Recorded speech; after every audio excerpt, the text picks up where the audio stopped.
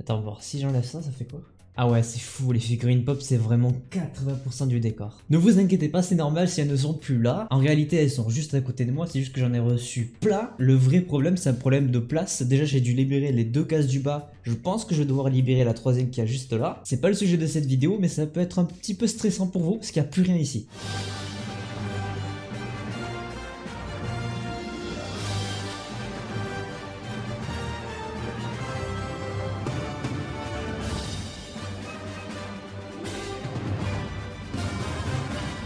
C'est quand même mieux avec la lumière. Aujourd'hui, petit unboxing de la Woodbox du mois de février. Une Woodbox basée sur le thème rétro de ce que j'ai vu elle est pas folle folle. C'est pas une box qui vaut les deux dernières. Je me demande si je vais pas résilier l'abonnement Woodbox pour prendre des box plus spéciales, des box qui sont déjà sorties, des box Marvel, DC Comics, des trucs comme ça déjà préparés, plutôt que des box surprises qui sont pas sûres de me plaire à chaque fois. Comme d'habitude, des goodies, une figurine et un t-shirt. Je suppose qu'il y a beaucoup de trucs dont j'aurais pas forcément la ref. Comme d'habitude, El Famoso couteau de cuisine. Je vais essayer de faire ça à l'aveugle, de deviner les objets que j'aurai en main. Déjà qu'ils sont pas fous, si on peut rajouter un petit peu de suspense, c'est pas mal. Déjà, je vais enlever les deux papiers, comme ça on les enlève.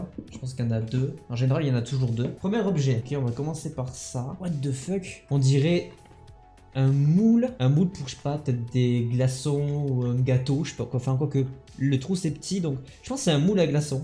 Bac à glaçons Super Mario Bros. Ok, d'accord.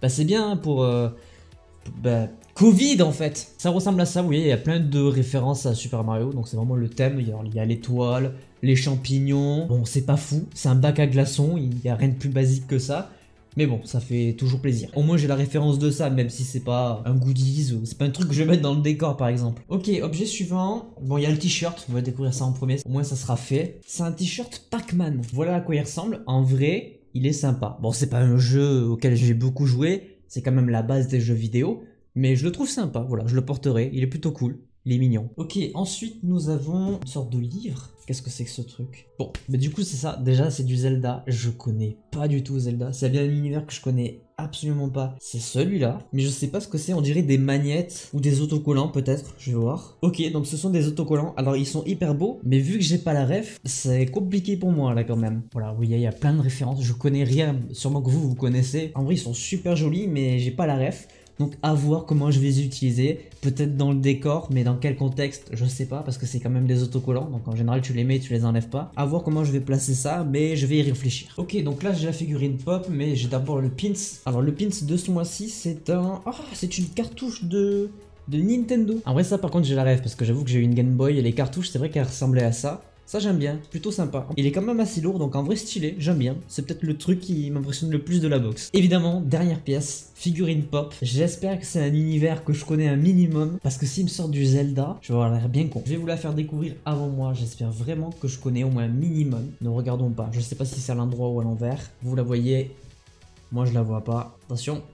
Bon, au moins, je connais. Figurine Pikachu, je sais pas si vous l'avez bien vu, mais du coup, c'est des petites figurines Pikachu. Je connais un petit peu, je connais forcément Pikachu, même si je connais pas le nom de son maître. Par contre, elle a l'air vraiment très petite. Hein. Elle, j'avoue, elle est pas très grande par rapport à une pop de base. La figurine est vraiment très petite. Elle est sympa, mais bon, je connais pas, je suis pas vraiment fan de Pokémon. Mais au moins, c'est un personnage que je connais, c'est déjà ça. Pour ce qui est de la box, vous voyez que c'est une sorte de Game Boy quand je l'aurai retourné. Je vais pas le faire là parce que j'ai plus de place, il faut que j'en fasse d'abord. Puis surtout, il faut que je lui trouve un endroit parce que là, j'ai plus de place. Comme vous voyez, il y a déjà deux boîtes. À voir où est-ce que je peux la placer, vous le verrez bien dans la prochaine vidéo. Même si cette vidéo sort en mars, donc je pense que vous l'aurez vu avant. C'est un petit peu bizarre, mais j'ai un planning de ministre, c'est normal. En j'espère que cette petite vidéo unboxing vous a plu. N'hésitez pas à laisser un petit pouce bleu, à me laisser un petit commentaire me disant ce que vous avez pensé de la box. N'hésitez pas à vous abonner, à activer la cloche pour ne pas manquer les prochaines vidéos. Moi je vous dis à la prochaine, c'était votre Captain.